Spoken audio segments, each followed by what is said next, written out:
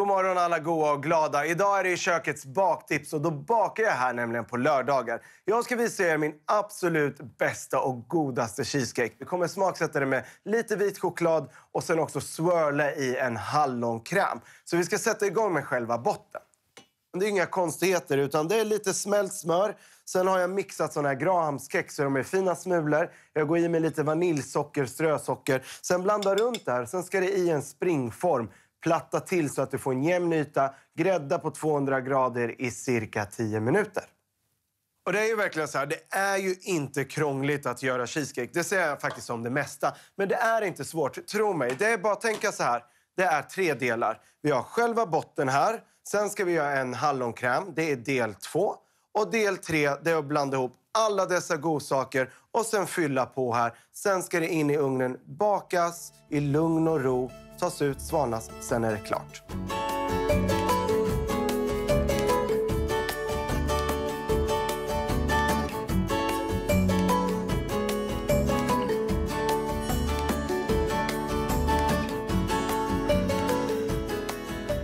Och den här goda då hallonkrämen, i den så har vi då lite hallonpuré, sen lime och lite vatten. Och sen ska vi ta också strösocker. Det här ska vi värma på tills liksom det har börjat koka. Och här i ska vi då blanda lite vatten och majsstärkelse som vi sen ska gå i här och koka det här till en kräm.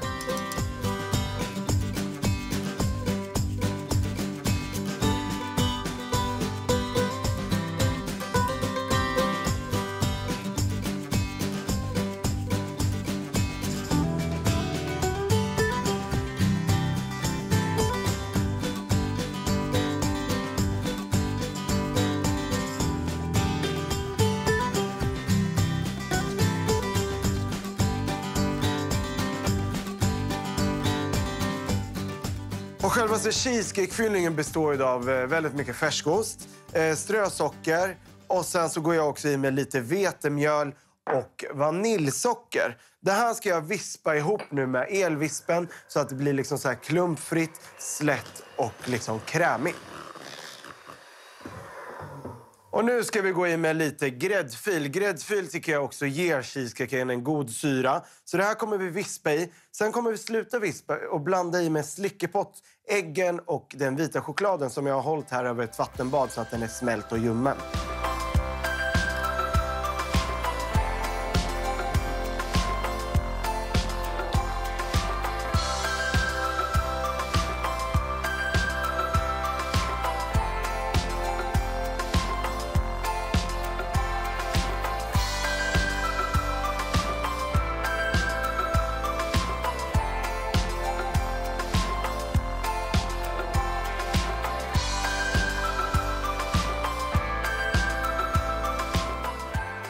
Här ser ju helt underbart ut.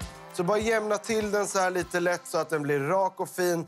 Och så ska vi gå och hämta hallonkrämen, fylla upp den i en spritspåse med en liten tyll och sen ska vi swirla i den så att det blir så här marmorerat, vackert och helt underbart. Och det här med att swirla i cheesecaken gör ju också att det ser så där fantastiskt gott och levande ut. Och är det så här att ni vill också se andra swirls eller mönster man kan göra, då finns det ett klipp på köket.se. Underbart! Man blir helt lycklig när det blir så här fint. Den här cheesecaken ska nu in i ugnen och gräddas på 200 grader. Direkt kommer jag sänka till 120 grader. Sen ska den här godheten bakas i 45-50 minuter. Sen stänger man av ugnen och låter den gå på eftervärme i 50 minuter. Och Det gör man också för att den ska undvika liksom, att man ska få en spricka i cheesecaken. Ta ut den sen. Låt den svalna, stoppa in den i kylen i minst sex timmar. Sen kan jag lova dig att du har nog den godaste cheesecaken med en sån här fräsch och god hallonkrämsmarmorering i. Receptet det hittar ni på köket.se. Ha nu en fortsatt trevlig helg. Hej då!